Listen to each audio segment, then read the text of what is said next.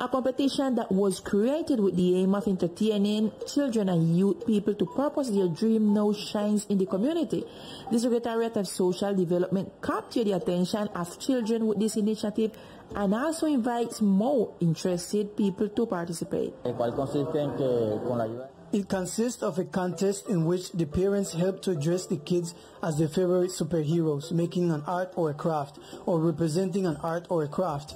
This is with the purpose of motivating them to build their dreams. Nala Parela Hernandez, Alaya Mina Montoya, Sarisha Livingston Meñaca, and Shannon James Gomez are the lead with more than 1,000 likes on their photos.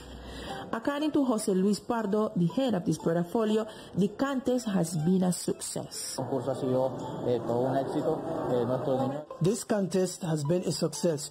Our children, along with their parents, have been very motivated in this contest, and we have 71 participants so far, and we hope they keep on registering. Photos can be sent to WhatsApp numbers 315 58 78 601 and 316 48 28 453.